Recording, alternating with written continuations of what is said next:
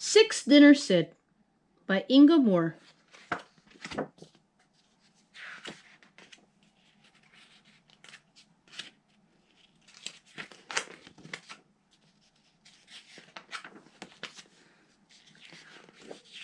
Sid lived at number one Aristotle Street.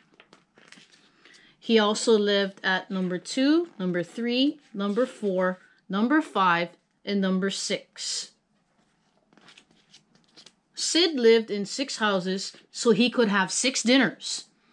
Each night he would slip out of number one, where he might have had chicken, into number two for fish, onto number three for lamb, liver at number four, fish again at number five, ending at number six with beef and kidney stew. Since the neighbors didn't talk to each other on Aristotle Street, they did not know what Sid was up to. They all believed the cat they fed was theirs, and theirs alone.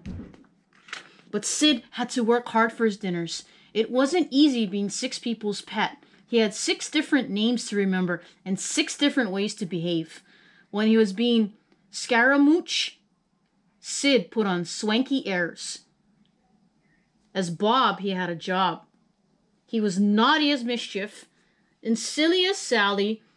As Sooty, he smooched. But as Schwartz, he had to act rough and tough.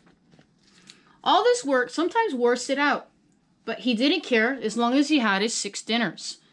And besides, he liked being scratched in six different places and sleeping in six different beds.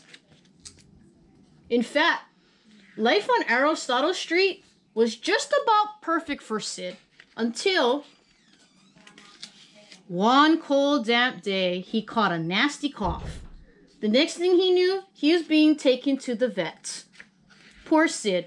He was taken not once, not twice, but six times. He went with six different people in six different ways. The vet said Sid's cough was nearly as nasty as it sounded, but to be on the safe side, he should have a spoonful of medicine. Of course, Sid didn't have just one spoonful of medicine, he had six.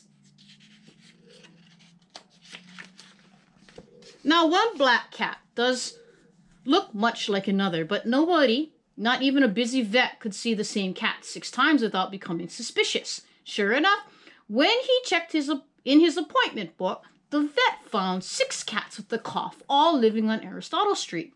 So he called the owners at once, and oh dear, Sid was found out. When they discovered what he had been up to, Sid's owner said he had no business eating so many dinners. They said in the future they would make sure he only had one dinner a day. But Sid was a six dinner a day cat, so he went to live at number one Pythagoras Place. He also went to live at numbers two, three, four, five, and 6. Unlike Aristotle Street, the people who lived on Pythagoras Place talked to their neighbors. So, right from the start, everyone knew about Sid's six dinners. And because everybody knew, nobody minded.